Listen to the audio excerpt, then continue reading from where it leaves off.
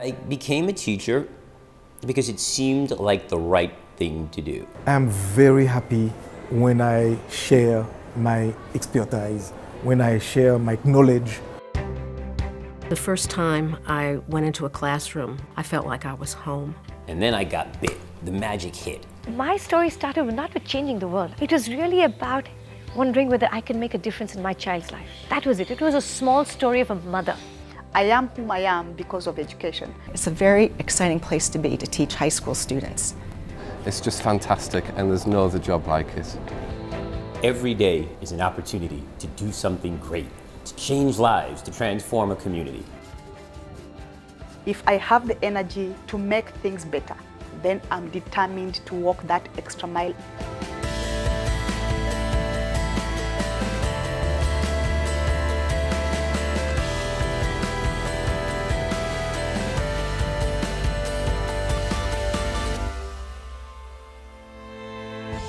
I am the first teacher who helped uh, create the first Braille school in Cambodia. Within three to six months, you can get almost anybody to be able to learn this language, one hour a day. And today, we have 180 schools in five countries. Now we are going to visit a women group, one of the women groups that I support. We returned back from exile after the Taliban and established a school here in Kabul in Afghanistan. And uh, nowadays we have uh, more than 3,000 uh, students in our school. I decided that I would create a place where I could teach children and teachers at the same time. 25 years worth of 40 to 50 teachers a year. And when children learn to nurture, we as a society collectively embrace our better nature.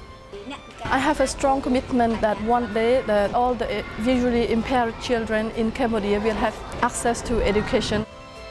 It's not easily to introduce the changement in the educational system, but I still believe it's the best way to change the country. Every human being has potential, but this potential cannot be developed if you don't have belief. I think Riverside attempts every day to build citizen leaders, children who will graduate with passion and compassion, who believe that the opportunities are not just right for them, but they will do right by the opportunity.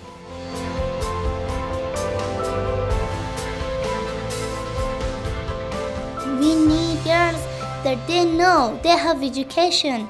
It is a way that we defeat the war, yeah? I don't think if I'm brave because I'm doing very ordinary job. So that is the reason that I say that this is not bravery, this is just a normal act that any person has to do.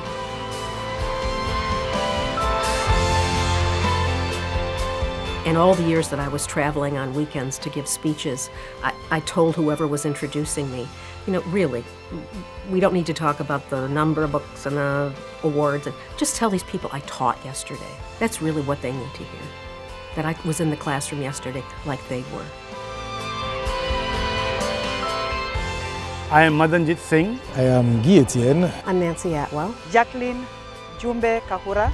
Naomi Volain. My name is Neang Phalla.